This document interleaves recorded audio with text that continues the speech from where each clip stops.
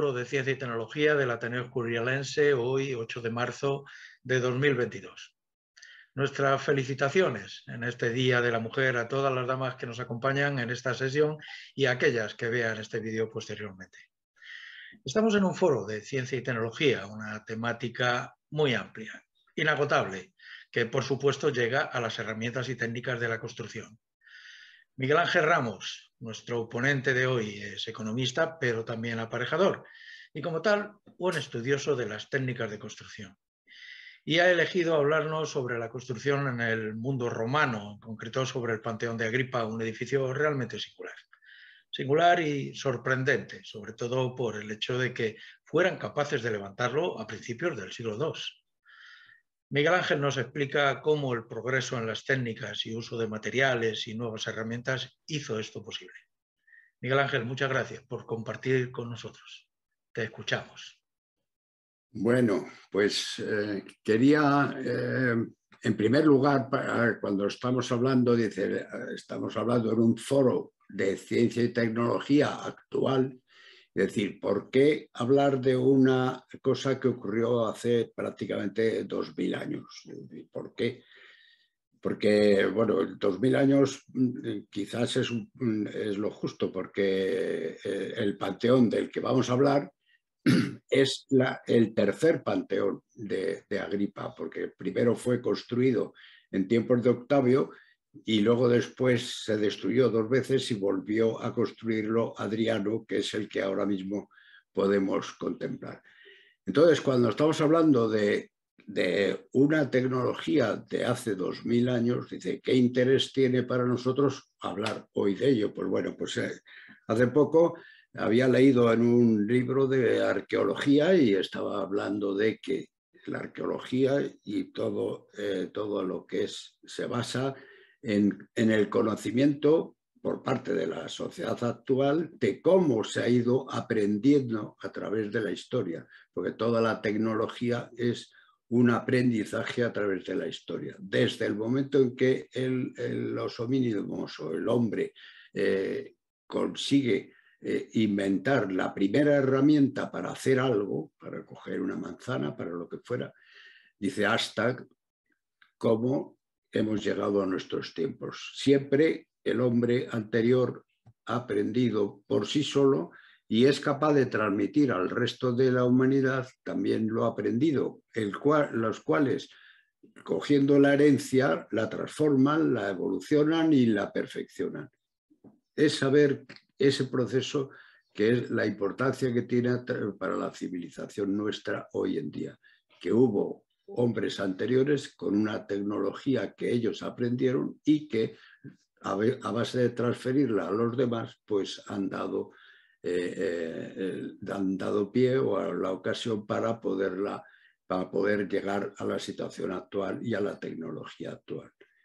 He cogido el, ejemplo para hablar de la, de la, técnica de construcción que utilizaban los romanos del el Panteón de Agripa. Agripa era, eh, fue yerno de Octavio Augusto.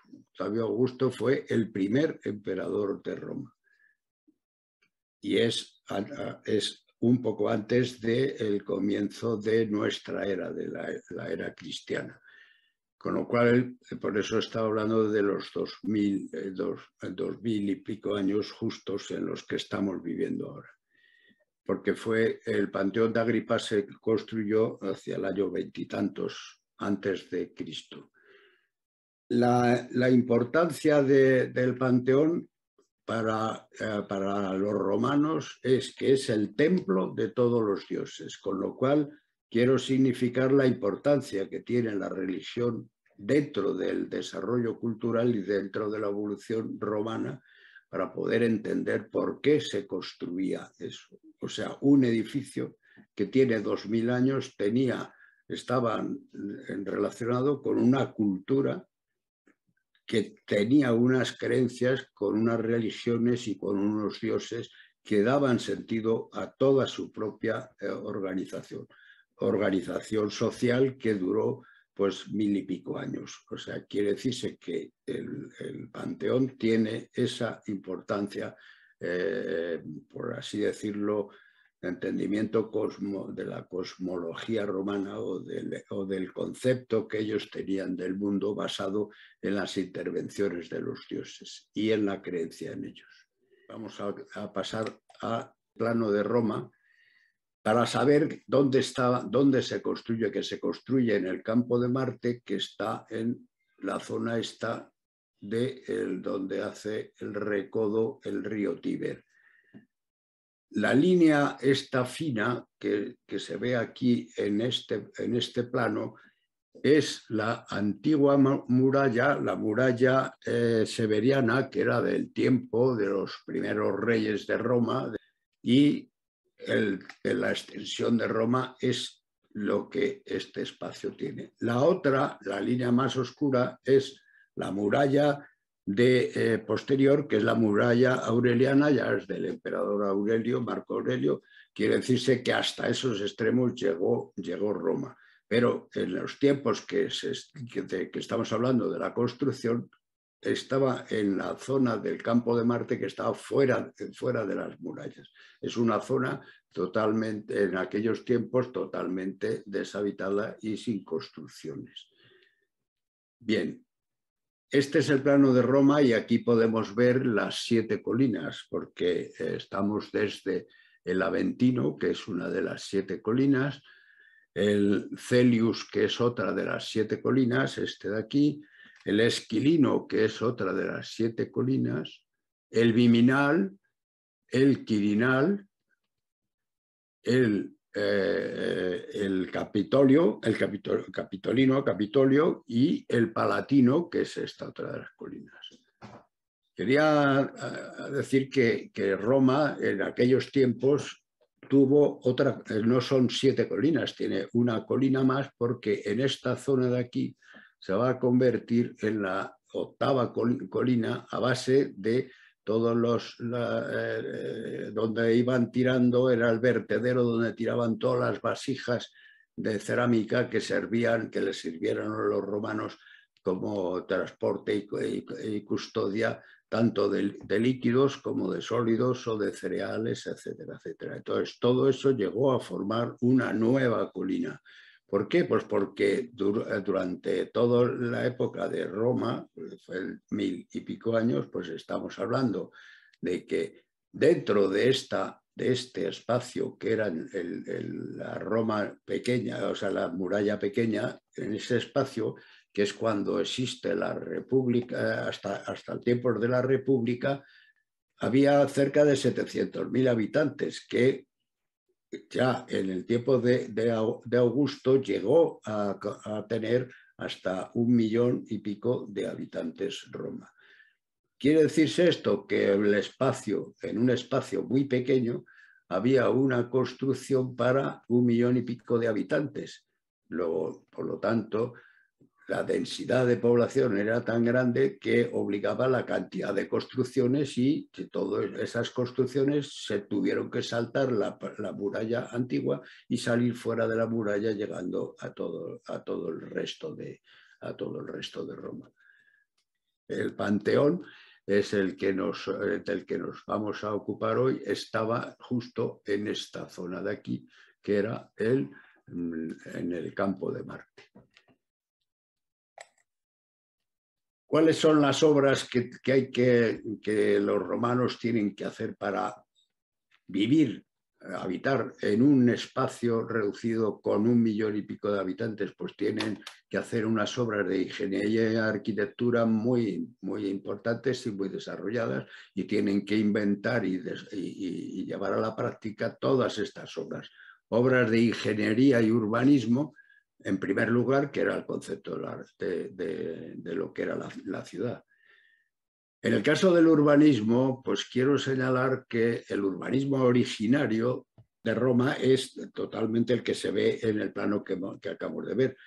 Pero hay que tener en cuenta que los romanos a partir de un momento van a utilizar el sistema de urbanización de las ciudades con el decumanus y el cardo máximo, que era un sistema de planificación urbana basado de, viniendo de los, de los griegos, de Hipodamo de Miletos, que fue el, primer arquitecto que hizo una planificación urbana con calles ortogonales que se cruzaban eh, haciendo ángulos rectos ese tipo de construcción eh, urbanística de los, de, de los, griegos, de Hipodamo de Mileto, los romanos lo perfeccionan a base de la, de, la, definición de las dos grandes avenidas, que eran el Cardo Máximo y el Decumanus, porque son las cuatro, son cuatro entradas y salidas que tenía, tenía la ciudad.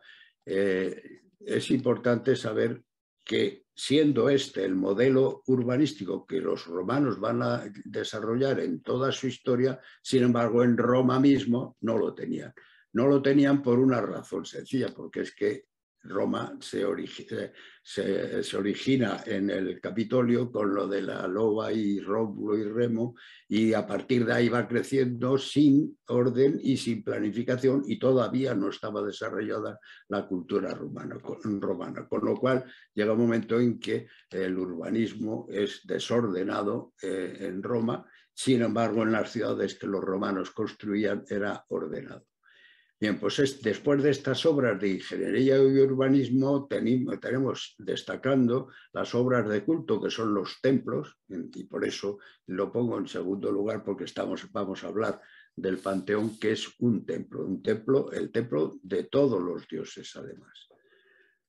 También tenían las obras de ostentación y poder, que las van a desarrollar en Roma, pues para, como son los arcos de triunfo y como son los palacios y son, y son los, eh, los teatros, etcétera, que los, para demostrar cuál era el poderío de, el poderío de Roma y cómo, se, y cómo se extendía y cómo iba implantando una cultura y cómo lo iba, la iba eh, haciendo posible. Además de esto, estarían las obras civiles en las que serían las, eh, las, viviendas de todo el millón y medio o cerca del millón y medio de habitantes. Eh, hay que tener en cuenta que en Roma, en ese espacio tan pequeño, para, para recoger a tantos habitantes, pues había casas de viviendas que llegaban a tener hasta seis, seis pisos de altura. Había una densidad muy grande. Esto es lo que obligaba a que todas esas casas que se habían construido con, los materiales y con la tecnología que en aquellos tiempos existía, pues daba lugar a muchas, de las averías que tenían las ciudades en, Roma, eh, que, eran hundimientos y, incendios. Por eso había un cuerpo de bomberos eh, permanente que estaba permanentemente actuando en Roma. Además de estas, de las obras civiles, están las obras defensivas. Y las obras defensivas, en el caso que hemos hablado, es eh, de, Roma, pues son las dos murallas que, vemos. La primera muralla pequeña, que de esa quedan muy pocos restos ahora mismo, pero la otra, la otra muralla, la muralla externa, muralla aureliana, que ya es la, muralla del imperio, esa la podemos ver prácticamente entera hoy si vamos a Roma. Además de las obras defensivas están las obras sanitarias. Pensemos en un espacio reducido con una densidad de población grande, necesita dos cosas principalmente. Una, la llevada de agua para abastecer a toda la ciudad. Y para eso los romanos construyeron cerca de treinta y tantos eh, acueductos que el más largo llegaba a tener hasta 80 kilómetros de, longitud. Venía, había un acueductos, vamos, acueductos que venían desde lejos. ¿Por qué tenían que traer los acueductos teniendo el, rey, el río a, la misma orilla de la ciudad? Porque el río estaba más bajo que las siete colinas y, y los romanos eran incapaces de subir el agua desde el río hasta la ciudad. Tenían que traerlo desde río arriba o desde otras, desde otras poblaciones y de otros ríos o de otros lagos para llevarlos hasta Roma, inclusive hasta ochenta y tantos kilómetros. Bueno, aparte de, eso, luego después estaban las de las aguas fecales y entonces decimos que había que, eh, construir un sistema de alcantarillado suficientemente potente eh, para, que pudieran, para que pudieran evacuar todas las aguas sucias y todas esas aguas sucias irían a parar al, final del, del río, al final de Roma, fuera de las murallas, al río Tíbet. Además de esto, tendríamos eh, las construcciones deportivas, porque aquello de lo que decíamos de pan y toros, para, contentar a la población, ellos tenían pan y circo y tenían que construir los circos donde hacían las, carreras de, caballos y donde hacían el coliseo y todos los edificios eh, donde, se, donde se practicaban los deportes y, eh, con las luchas de gladiadores, etcétera, etcétera y obras de esparcimiento popular, como eh, destacaríamos aquí, fundamentalmente los teatros. Había cantidad de teatros en Roma para poder representar todas las tragedias que, venían heredadas desde de Grecia y las que se fueron eh, creando en, la propia civilización romana. Pues bien, todas estas obras de ingeniería y de arquitectura respondían una serie de tecnologías que tenían que poner en práctica. Tenían que usar materiales, tenían que eh, usar herramientas y tenían que usar eh, los propios materiales. Uno de los materiales de construcción más importantes que podemos asignarle a los romanos pues, son los ladrillos por un lado y por otro lado eh, el cemento. Cemento que era el cemento natural existía un cemento natural, que el que nosotros ahora conocemos en, nuestras, en nuestros tiempos, pues es un, cemento fabricado, fabricado eh, industrializado. Pero hay en la naturaleza, hay, rocas que tienen la composición del cemento ya de por sí, que los romanos habían utilizado y habían, ya la habían descubierto y lo estaban utilizando permanentemente. Esto lo vamos a ver a lo largo de la charla, pues en la propia construcción de el, eh, del edificio que hoy hemos tomado como, eh, como ejemplo, que es el Panteón.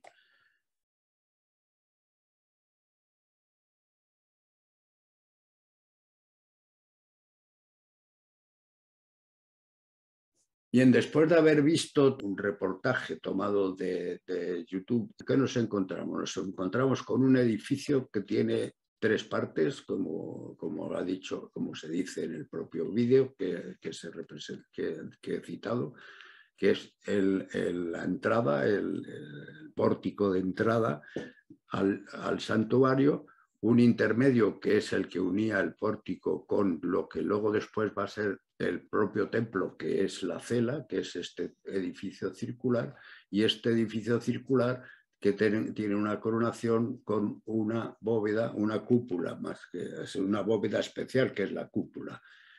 Entonces, todo esto lo vamos a ir viendo porque lo que nos interesa es ver cómo aplicaban la tecnología en la construcción de este edificio.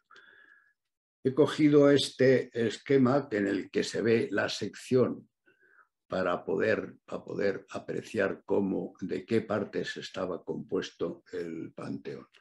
Ya, ya pone en la propia entrada, decíamos, la inscripción que había en, el pórtico de la entrada era Marco Agripa, o sea, eh, eh, vamos, el, panteón de Agripa, de, Marco Agripa. Marco Agripa era, eh, era, fue yerno de Augusto y fue fundador del templo en el año 27 a.C. Por eso decía que estamos hablando de un edificio que originariamente tenía 2.000 años, pero que luego después fue destruido por varios incendios y demás, y eh, fue el, emperador eh, Adriano el que lo va a reconstruir entero, el emperador Adriano. Y le va a asignar pues el mismo nombre. Las dimensiones, la altura del edificio es de 43,20 metros, 43 metros desde aquí, desde la cúpula hasta el suelo. Con una particularidad es que el ancho de la, de la o sea, del edificio tienen los mismos 43,20 metros. Y según se, se, puede ver en el vídeo del que, he citado, se puede ver que dentro de este edificio se puede inscribir una esfera de 43,20 metros de ancho y alto, como una esfera, que, y, y es según los estudios, es segunda cúpula más grande después de eh, la, cúpula de San Pedro del Vaticano. Los ingleses pretenden que también eh, la, Catedral de San Pablo en Londres es más grande, más alta que esta. Bueno, pues hay su propia discusión entre uno y otro, pero en cualquier caso eh, diríamos que estamos hablando de uno de los, de los de las bóvedas más grandes, entre las tres bóvedas más grandes del mundo que se han construido a través de los tiempos, con la gran diferencia de que esta se construyó hace 2000 años, la de San Pedro se construye en, 1400, en 1400, 1500 y la de, la de San Pablo de Londres bastante después. Aquí en esta sección se, se aprecia cómo está construido a base de un muro, un muro de ladrillo macizo hasta esta, hasta esta altura y a partir de esta altura se construye la cubierta que es la cúpula, eh, la cúpula que está formada a base de siete anillos superpuestos. Y los siete anillos superpuestos, como podemos ver aquí, es que se van construyendo un anillo Luego eh, con, hormigón, con hormigón, mm, hormigón sin armar, o sea, hormigón macizo. Y, se, conforme va, van construyendo un anillo, a un momento que queda fraguado, se vuelve a construir, se construye otro y así sucesivamente hasta eh, construir la última cúpula. ¿Por qué? Pues porque cada uno de los anillos, cada vez que va fraguando, está transmitiendo cargas verticales directamente sobre el muro y un anillo sobre el otro que están descansando, lo cual permite hacer una cúpula tan grande sin necesidad de tener arbotantes ni contrafuertes como veríamos en las construcciones eh, tanto del arte romano, románico como del arte gótico. Aquí no se necesita porque todas las cargas las se están trasladando verticalmente al muro de sustentación de toda la cúpula. En cuanto al, pórtico de entrada, está, eh, este pórtico de entrada es, eh, hay que destacar lo que aquí habla de las 16 columnas de granito gris y rojo, cada una de las cuales pesa unas 84 toneladas, según nos está contando aquí. Independientemente de este material, ellos toda la, piedra que van a usar en, los, en toda la construcción va a ser eh, travertino, eh, o sea, una piedra travertino que existe en, en, Italia, es bastante abundante y se va, lo van a utilizar mucho los romanos, pues, por ejemplo, lo, vamos a ver en el, en el Coliseo, toda la fachada del, Coliseo de Roma está hecho con, con mármol travertino o piedra, eh, piedra travertino. Bien, ¿qué elementos vamos a analizar? A partir de aquí podríamos decir, pues lo vamos a dividir en cuatro partes. En la primera parte analizar el pórtico o pronaos, que es el, el que tiene las columnas y los capiteles, con el frontón y la cubierta misma del pórtico. El segundo, el segundo elemento a analizar sería el cuerpo de ensamblado y los muros exteriores que rodean a todo el edificio, con, las uniones de filas de columnas que se apoyan en el propio muro, más los propios muros de sustentación. A partir de este cuerpo de ensamblado de unión, pasaríamos a la nave central o es la protagonista de todo el propio templo, Está, rodeada por siete capillas con forma de excedra.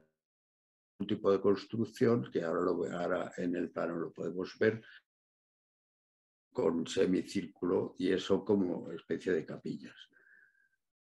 Los arcos de descarga que se van a, se van a, usar pues porque eh, eh, en los propios muros ellos utilizan los arcos como elemento de descarga de los del peso de la bóveda sobre los, sobre los muros. Más los ventanales superiores que eh, dan hacia el interior porque mm, hay una, una, como veíamos aquí, aquí veíamos que hay una y dos eh, que dan la vuelta como dos galerías y estas y, estaríamos hablando de estas ventanales que se abren hacia el interior desde la propia galería. Y por último, pues hablaríamos de la cúpula, que está construida, como hemos dicho, con los siete anillos a base de una bóveda de hormigón en masa. Hormigón en masa quiere decir que no tiene ninguna armadura. El hormigón armado es una cuestión totalmente moderna del siglo XIX-XX. No, antes no se usaba. Podríamos decir casi del siglo XX, porque es a principios del siglo XX cuando se empieza a usar el hormigón armado. Y destacando el óculo central, que es, es en, la, bóveda el agujero que, con el que termina y que, queda, y que queda totalmente abierto al exterior, al cielo.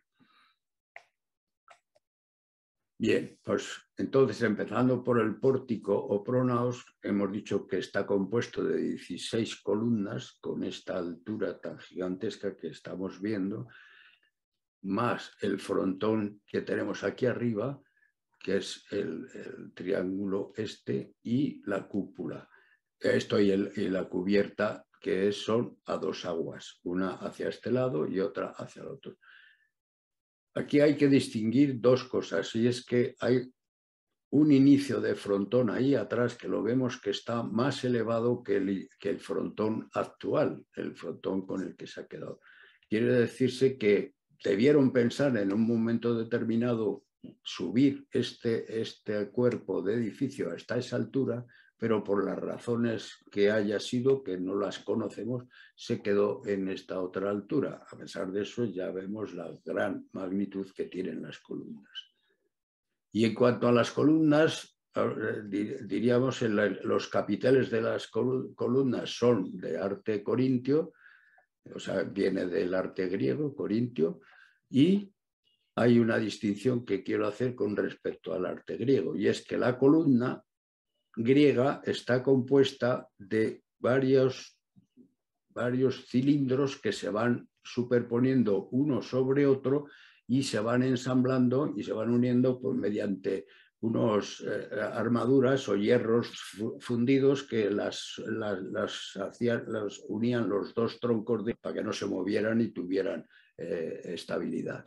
Sin embargo, la columna romana, y esta es una distinción importante en la arquitectura de los romanos con respecto a los griegos, es que ellos hacen las columnas enteras desde arriba hasta abajo. El fuste de la columna es entera, lo cual implica cómo se puede, eh, eh, cuál es la técnica que van a emplear los romanos para poner estas columnas eh, derechas y puestas hacia arriba desde, desde la base y luego después poderles montar el capitel arriba. Eso sería una de las cosas que vamos a ver más adelante, pero lo, veremos. O sea, en cualquier, cosa, en cualquier caso, en todos los edificios que veamos de la antigüedad, como tengan, si es un edificio romano, lo vamos a ver con columnas enteras, si es un edificio griego, lo vamos a ver con, con columnas a base de troncos este es otro ejemplo, otra vista, para que veamos cómo estaba la cubierta, pues desde abajo está, está hecho con, a base de, vigas de madera que forman las dos pendientes que, en las que terminaría la cubierta. Vemos todos estos adornos y todas estas, estas piedras, es lo que estaba diciendo del travertino, está hecho con piedra de travertino. Vemos cómo la unión termina cada piedra sirve de, es como un dintel que se apoya en dos columnas. Entre las otras dos columnas otro dintel y entre la tercera columna más la columna que está pegada al muro, al, cuerpo de unión, pues es otro, otro dintel. Es decir, aquí son dinteles mm, rectos. No hay arcos ni hay bóvedas todavía. Este es un dibujo hecho por el arquitecto que, habíamos visto antes, Piranesi, que en el siglo XVIII eh, fue a, Roma a, hacer dibujos de todos los restos eh, eh, arqueológicos romanos.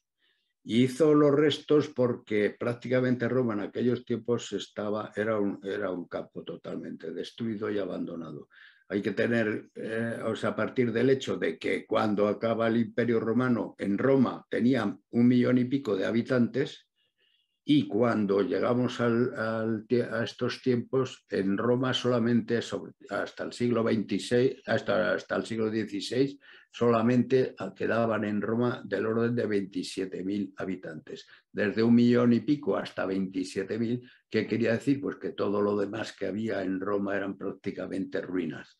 Ruinas eh, que había, las más sólidas estaban, estaban en pie como estas, algunos edificios como el Panteón y otros más, como que, que, citaremos luego, pues estaban enteros y pudieron utilizar, pero en cualquier caso había que reconstruir todo Roma, porque el resto era todo una ruina.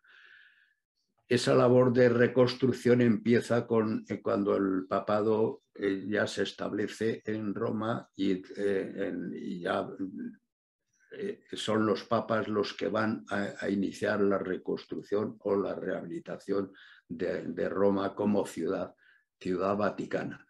Y, por eso se ha hablado de, Roma tiene dos, etapas, la etapa de los, del, imperio y la etapa de los papas, dice, la etapa de los romanos y la etapa de los papas. Es la, idea de, lo que es la, Roma que nos llegó hasta principios del siglo XX. Bien, pues aquí está el ejemplo de lo que estábamos hablando, una columna con un fuste de los, éramos, habíamos dicho, de, no me acuerdo cuántos, 16 metros me parece que había dicho, es entero de arriba abajo, que tiene que apoyarse sobre la base y que va a soportar el capitel y luego después el resto del edificio. Pues bien, el fuste, que está recibiendo 135 toneladas, pues hay que, tener, hay que saber que si lo partimos en trozos, la parte de aquí abajo va a resistir 62 toneladas, la intermedia 40 toneladas y la otra 33. Esto es lo que hace que el fuste no sea obligatoriamente todo igual de arriba abajo, sino que va disminuyendo su anchura desde, desde la base hasta arriba, porque la parte más alta resiste menos peso que la parte más baja. Y no, tendría, no sería necesario hacer todo mismo diámetro para eh, resistir menos peso aquí arriba. Aquí estaría eh, la cubierta inclinada con todos los adornos que hemos dicho en los, dinteles.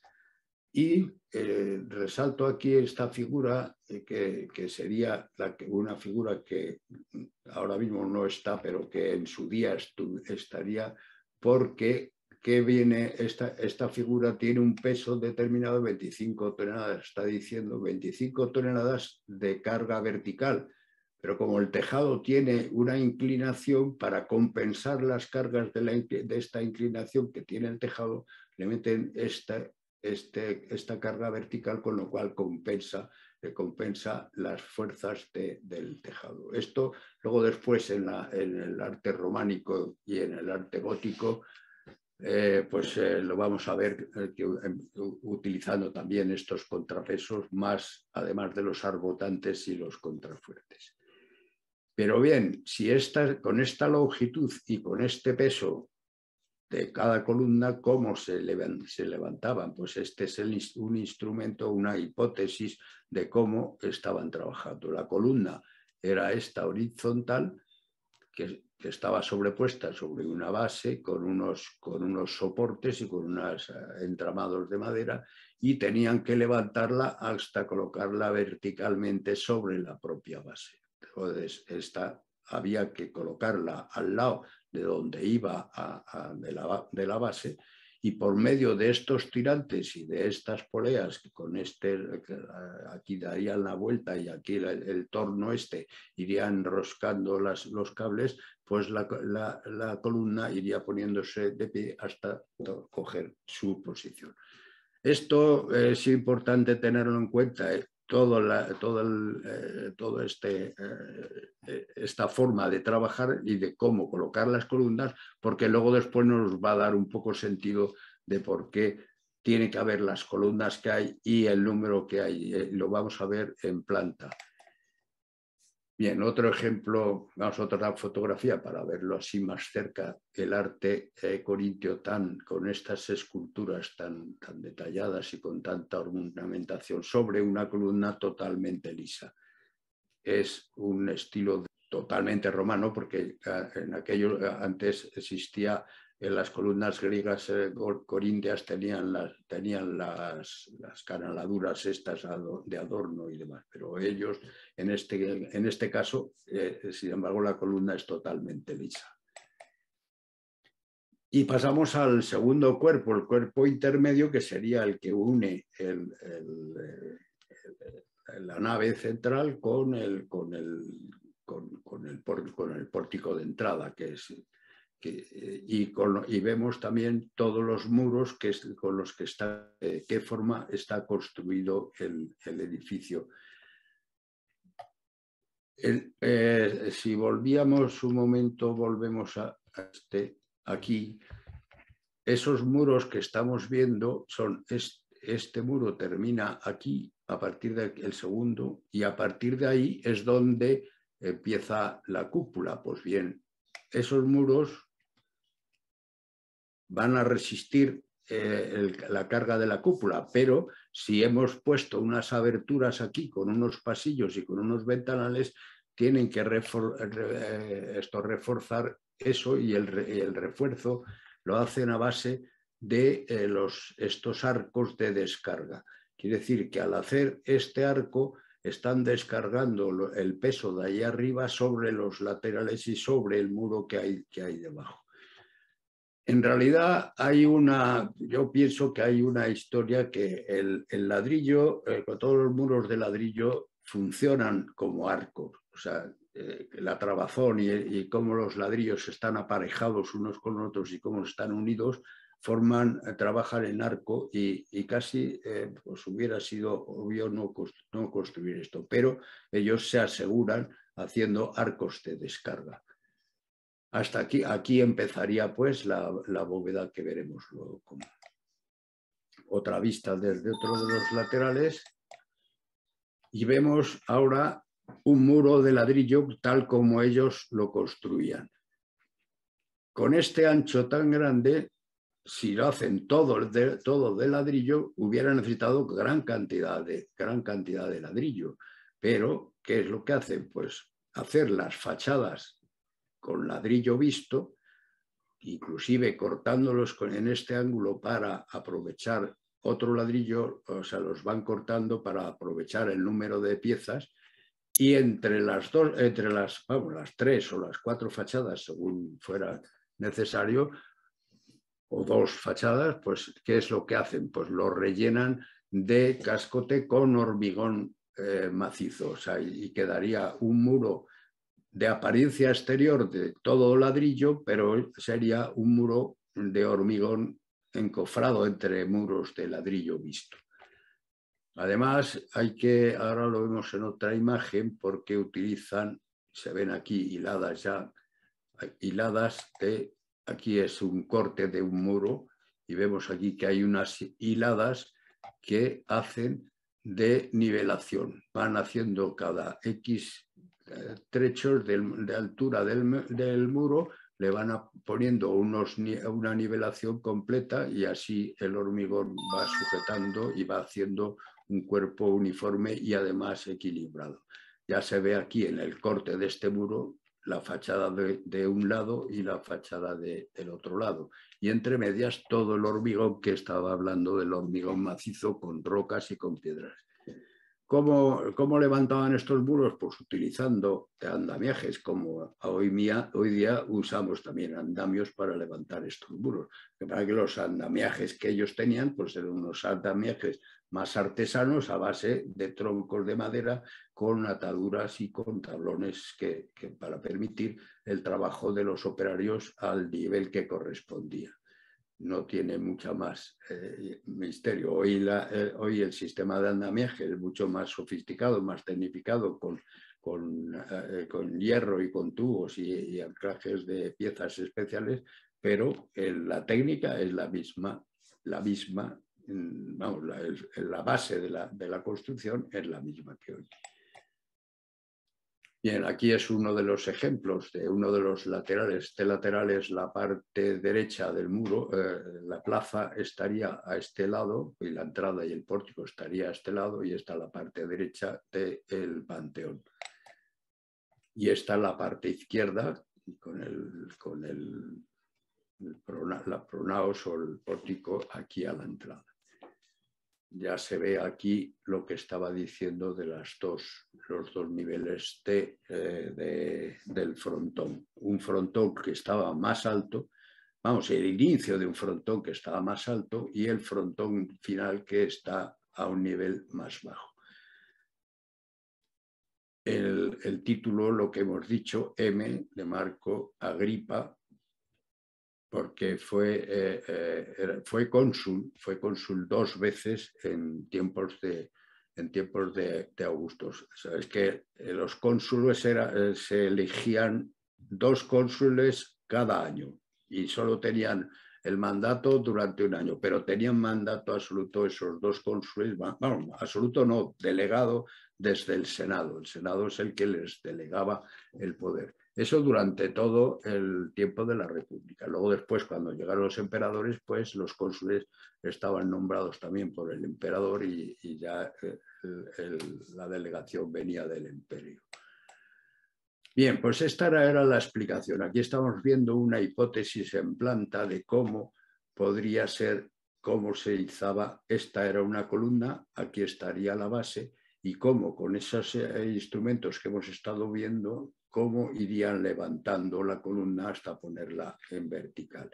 Si son cuatro columnas, solamente tendrían estas cuatro eh, movimientos, pero pensaron, vamos a ponerle más profundidad y entonces empieza a complicarse porque aquí hay columnas que se entrecruzan y dificultan la operación de cómo levantar e izar la columna.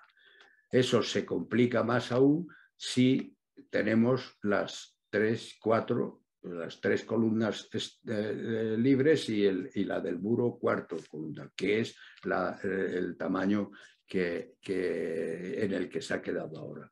Es decir, posiblemente en un principio pensaron hacer un pórtico de entrada más corto y con más altura.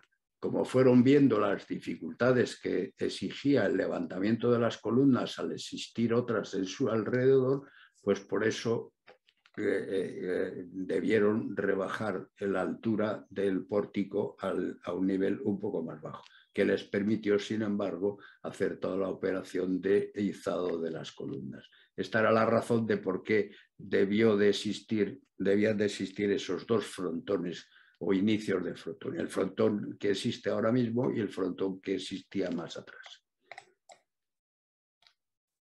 Bien, aquí es otra visión en la que este, este sería el cuerpo intermedio que une el pórtico de entrada, estaría aquí, el, cuerpo intermedio es, eh, aquí no hay columnas, es simplemente muros, y luego a partir de aquí ya es la entrada al, a, la cela o a la nave eh, importante del al propio templo.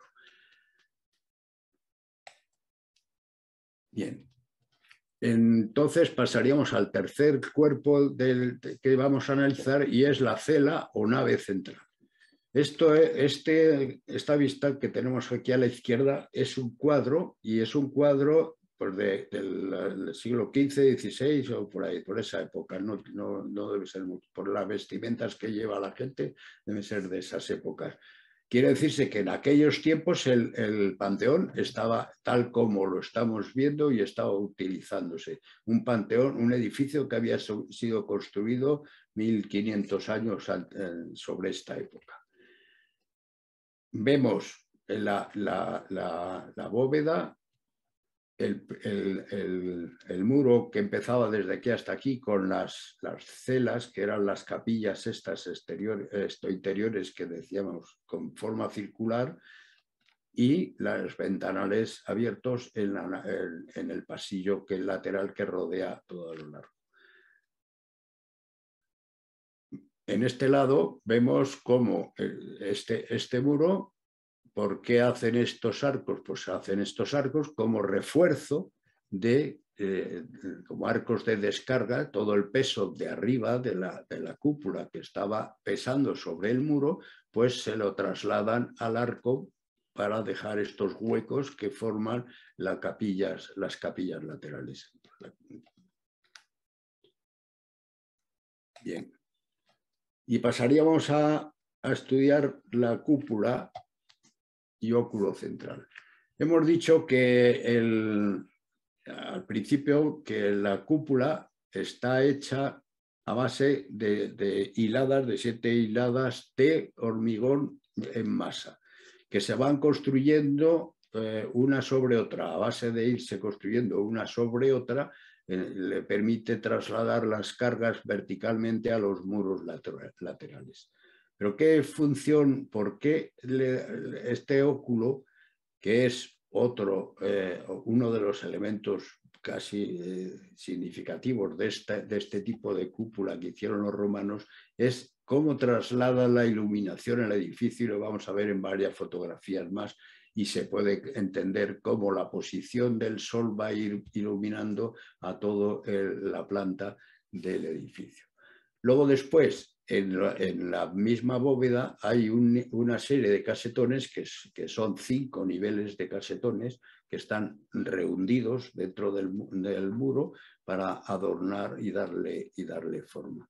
Sin embargo, hay una parte que es totalmente plana, que es la parte superior de la, de la cúpula, pues porque la cúpula va eh, teniendo un grueso de menor a mayor. Si volvemos otra vez aquí, lo vemos como aquí tienen este, aquí la cúpula tiene este grueso y aquí arriba tiene un grueso muy pequeño. Aquí han podido dejar estos rehundidos dentro de la cúpula, que serían los casetones esos, pero a partir de, este, de ahí para arriba ya no dejan los, ya no dejan los casetones porque tiene el, lo que es la cúpula es mucho más delgada que el resto.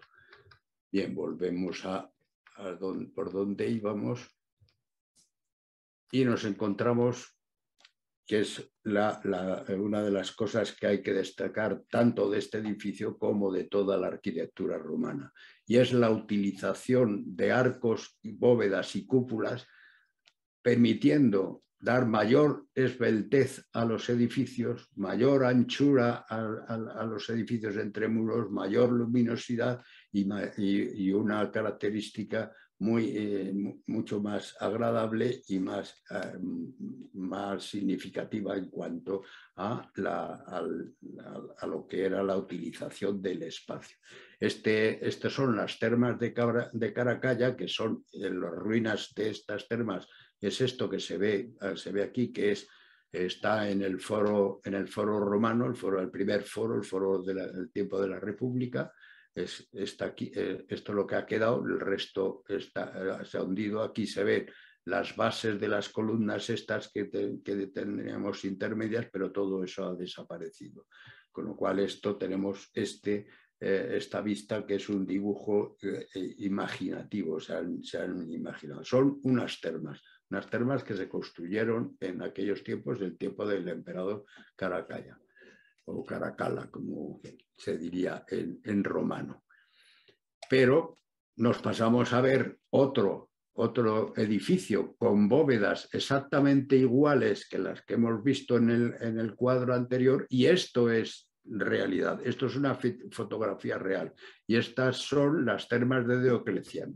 Estas termas de Diocleciano, que ahora mismo es, eh, es, un, es una iglesia, la iglesia de Santa María de los Ángeles de Roma.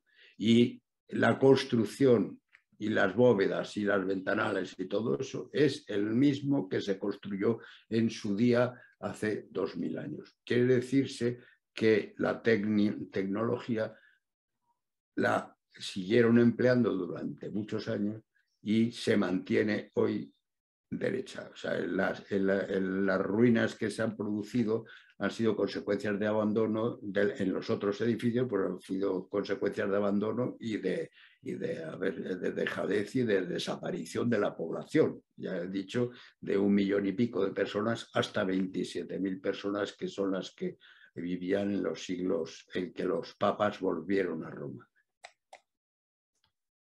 ¿Cómo vemos cómo construían estas bóvedas y cómo, eh, eh, y cómo lo hacían? Pues a base de todo este instrumental que, tenemos aquí. Lo importante está en saber que ellos parten de unas columnas que son sobre las que se apoyan y se apoyan unas armaduras de madera que se, que se, llaman unas cimbras, cimbras en este caso son cimbras de soporte, porque están sujetando a estas otras cimbras que vemos aquí eh, laterales, que son las cimbras de los arcos, que forman, primero, o sea, que van a dar forma a, la bóveda arriba por completo. Estas, estas cimbras están separadas eh, arbitrariamente según la longitud de las tablas que se van a clavar encima de esas cimbras. Todas estas tablas nos, nos permiten tener una superficie grande ya eh, sin, sin, huecos sobre la cual se puede echar el hormigón en masa que eh, hemos visto uh, al principio que, se, que ellos estaban, que eran capaces ya de fabricarlo y de construirlo a base de utilizar el cemento natural que existía en la, en la naturaleza eh, originariamente. No tuvieron que fabricar cemento, sino que ellos lo utilizaron. Supieron descubrirlo, supieron utilizarlo, supieron cómo fraguaba y el tiempo que duraba. Mientras ya sabéis que el cemento pues, tarda un tiempo en fraguar y, por, consiguiente en tomar consistencia. Entonces, ese, durante ese tiempo todas estas armaduras, todas estas cimbras y todos estos encofrados hay que mantenerlos eh, estables y, comprobando que, no ceden y que se mantienen, eh, se mantienen rígidos para que no se hunda la bóveda que está fraguando en ese momento.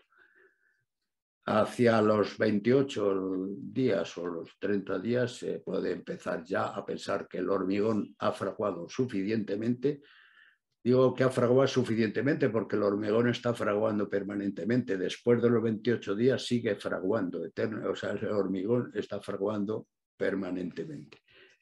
Está fraguando quiere decirse que está cogiendo consistencia mayor con, con el paso del tiempo. Por eso podemos pensar que hay bóvedas de hormigón en masa desde hace 2000 años y siguen estando ahí en pie. Aquí eh, eh, he acogido este dibujo de, un libro de, teoría de cómo lo construían y entonces vemos aquí en lo que se llama la bóveda esta, que sería la más sencilla, es la que se llama bóveda de cañón, la que está, eh, cuya sección es un semicírculo y eso sería bóveda de cañón. Cuando una bóveda de cañón se encuentra con otra bóveda de cañón en, perpendicular, pues forma esta sección con este, con, esta, eh, este, con este tipo de construcción y que se llama bóveda en rincón de claustro o bóveda de crucería, de crucería porque se cruzan. Y de rincón de claustro, ¿por qué? Pues porque se la llamamos bóveda de, de, rincón de claustro porque sobre todo eh, ya en el románico lo vamos a ver, son las bóvedas que se utilizan en los claustros, los pasillos que están cubiertos alrededor del patio del claustro, pues cuando llegan a, los cruces de los dos muros, pues hay una bóveda que viene de un claustro y otra bóveda que viene de otro claustro, y entonces ahí forman el rincón del claustro. Aparte de esto, pues, ¿qué, destacar de aquí? Pues el tipo de herramientas que serían las grúas, las poleas, las tirantes con los que se iban levantando todas las piezas estas, se van acoplando y se van uniendo. Inclusive con este, con este tipo de rodillos que son los que a base de eh, la gente se ponía de pie encima de cada uno de estos rodillos y va girando, girando y entonces al girar el rodillo va atirantando, atirantando las, las cuerdas y va subiendo la, la, subiendo la cimbra que estaba, estaría construida abajo. Este tipo de, grúas, de cimbras, de rodillos y de poleas es el mismo tipo que usaban los romanos, es el mismo tipo eh, más o menos parecido el que, el que usó Herrera en la construcción del monasterio del Escorial. Luego sepamos que la tecnología del monasterio del Escorial está tomada ya desde el tiempo de los romanos, ya se estaba haciendo. A partir de aquí, decíamos, podíamos, a partir de las cimbras esas que estaban apoyadas sobre, los, sobre unos laterales, las columnas, pero decía, también podía ser que no hubiera tales columnas y entonces se montaba aquí un castillete central, un castillete central también de madera con la suficiente rigidez para soportar las cimbras estas laterales que son las que van, van a dar forma a la, a la bóveda. Esta es una fórmula, es otra hipótesis que se, ha manejado de cómo se, esto fue en, otro mausoleo de Tor de, de que, que, se dice que debieron usarlo. Aquí ya nos, vienen hasta las dimensiones de, los, de, los, y de las secciones de los tablones y de las, y de, los, y de las maderas y de los puntales. Esto es en, un, puente en, en Nimes, pues también utilizarían este tipo eh, de, de, cimbreado o de armadura de madera sujetando, la, sujetando. En vez de tener un soporte central aquí, en medio que sujetase la bóveda arriba, podían ellos sacar unos, unos, eh, unos refuerzos en los muros y construir las armaduras desde aquí, evitándose de esa forma la construcción de la columna esa central que hemos visto en el caso, en el caso evitándose esta, esta construcción completa. Estos serían, eh, bueno, estas son bóvedas, eh, cimbras de las que se van a usar en el, en el Panteón, luego después ya lo, voy a ver, lo vamos a ver más. Llamamos cimbra a lo que es esta armadura de madera, ¿eh? es lo que es la cimbra. Entonces, si nos vamos a la sección del Panteón, a partir de aquí es donde, tiene, donde tienen que empezar a a poner los arcos suficientes para ir construyendo los diversos anillos. Hemos dicho que se iba construyendo a base de anillos, por lo tanto tendríamos que mantener un tipo de, sujeción con los encofrados de madera que fueran sujetando anillo por anillo. Primero se, se haría un anillo, pero ya tendría que tener toda la cimbra.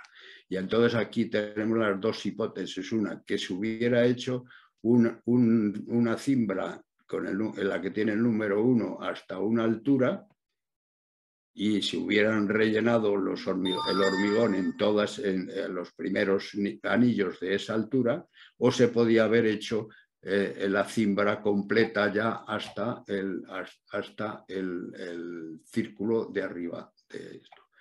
No sabemos, pero en cualquier caso puede haberse hecho de una forma o de otra. Otra hipótesis que podía ser, y es que hubieran utilizado la columna central para sujetar el óculo, o sea, la parte de arriba del óculo, y que sujetase todo este encofrado sujetarse a todas las armaduras, a todas las armaduras laterales haciendo la forma y que, y que se fueran haciendo según se iba levantando los andamiajes, según se iban levantando los muros y a partir de aquí ir colocando las, las, eh, las cimbras sujetas sobre esta base central. Como no tenemos documentación escrita de cómo se hizo otro, pues podemos pensar que de algún tipo de estas, de estas tres fórmulas que acabamos de contar, pues pudo haberse hecho, eh, construido la bóveda de arriba. Lo que sí que eh, se ve es que ya aquí, eh, primero, los primeros anillos tienen, son más anchos y conforme vamos subiendo hacia arriba, los anillos son más estrechos. esto lo vemos, lo vemos aquí en la sección esta del dibujo. Aquí los anillos son más anchos y luego de ahí para arriba los anillos son, eh, son más estrechos.